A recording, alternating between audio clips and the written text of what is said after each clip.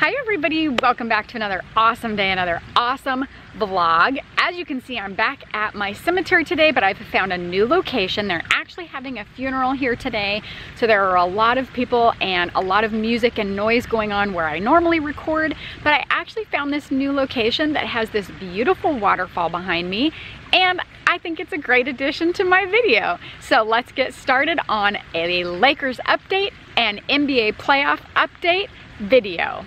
The first thing I want to update you on is the lawsuit against Luke Walton, the former head coach of the Lakers.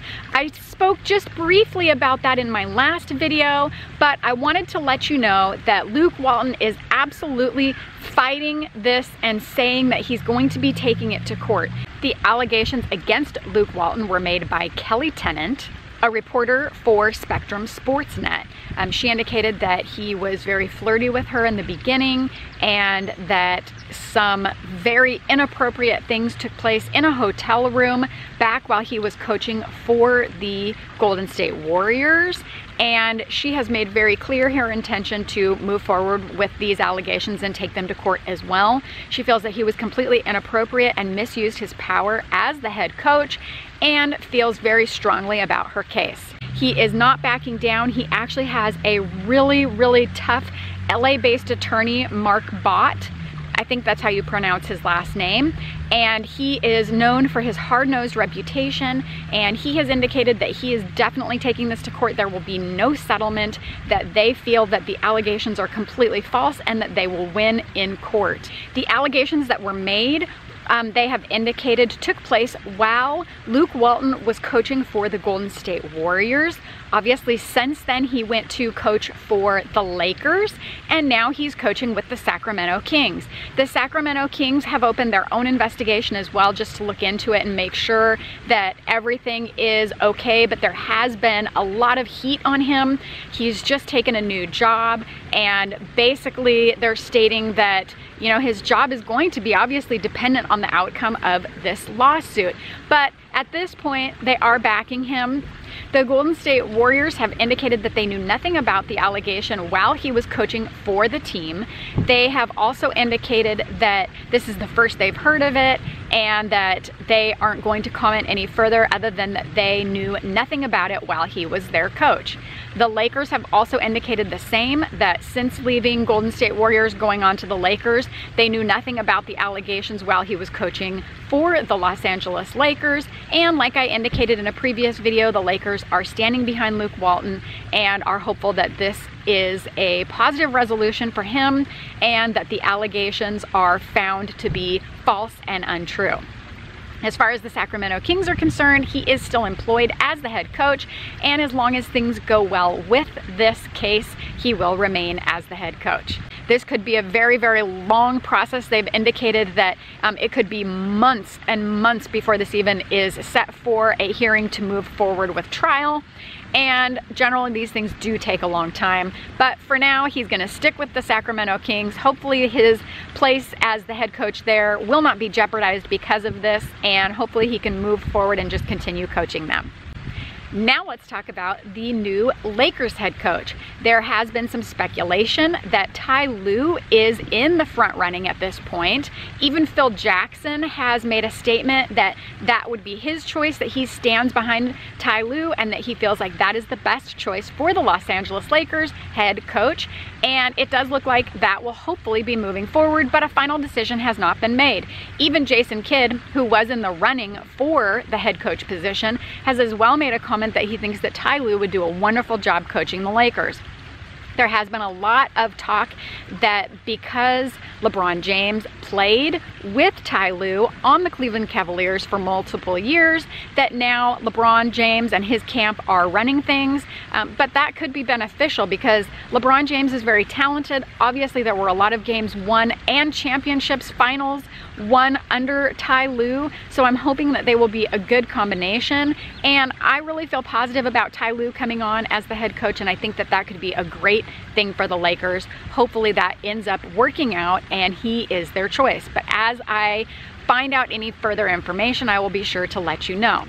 Now on to news on the NBA playoffs as I indicated in my last video, we have moved on to the second phase of the playoffs, heading toward the finals, and the Golden State Warriors are playing the Houston Rockets. Like I also mentioned, the Houston Rockets have some amazing players. Not only do they have Chris Paul and James Harden, but they also have some other amazing players that have come in and proven that they are able to make three-point shots better than the Warriors, which I have to say for me is quite shocking because I feel like the Warriors are some of the best three-point shooters, but the Rockets have them frazzled at this point. The Rockets have shown that they can clearly come in and take over the court even when the Warriors are ahead and playing wonderfully. But I will tell you the last couple of games have been really, really tough for the Golden State Warriors. Right now, um, in the second phase, Golden State Warriors have won two games and the Rockets have won two games. So it's tied and we are going into the fifth game tonight. Today is Wednesday, May 8th, and there is a game tonight. It is a home game for the Golden State Warriors. They've been in Houston for the last two games, so I'm hoping that now they will come home to their own crowd, their own fans, and they will cheer them on to play their best. I'm hoping that we really, really see the best come out in the Golden State Warriors in their game tonight. They really need a win because at this point, it's tied. It could go either way. And going into the second phase with this matchup, I would have believed that it would have been a hard matchup and that both teams would have played hard, but I really believed the Golden State Warriors were going to have a much easier go at it and that they were going to be ahead at this point.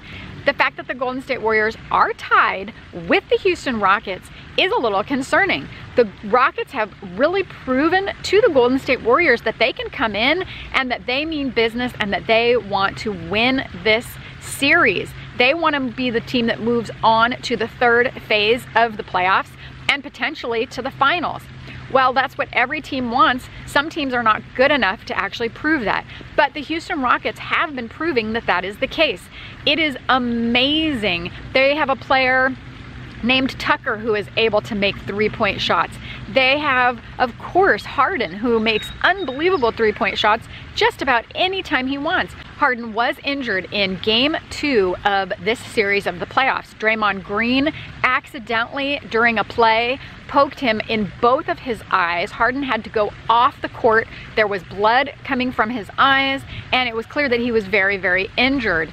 The initial contact caused a contusion in both eyes for James Harden and a laceration on his left eyelid.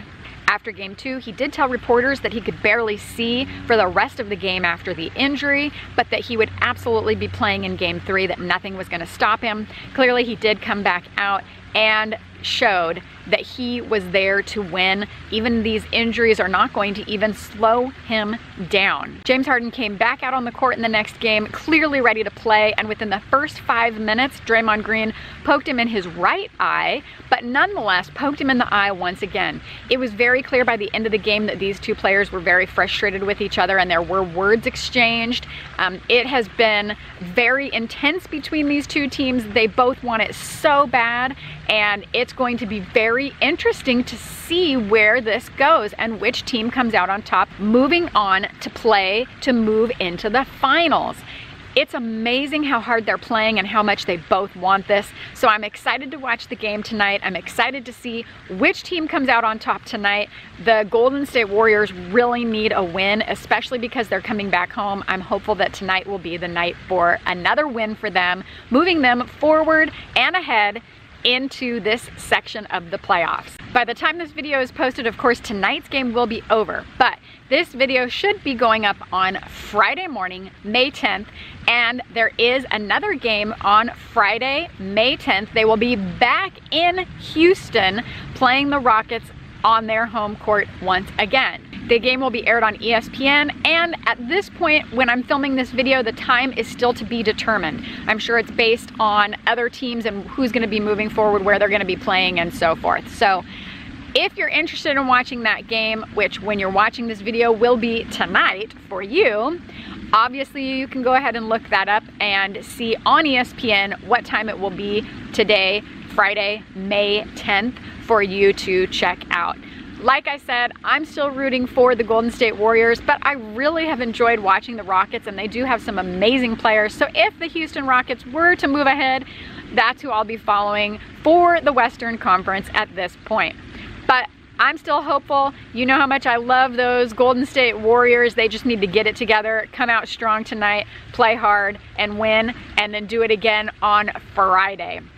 I hope you enjoyed this video. I hope you enjoyed these updates. I'm still looking forward to finding out who the new Lakers head coach will be. I am hopeful that they find someone who will be a wonderful fit for everyone and help bring the Lakers to the playoffs and the finals next season. Don't forget to smash the thumbs up button and don't forget to subscribe. Bye!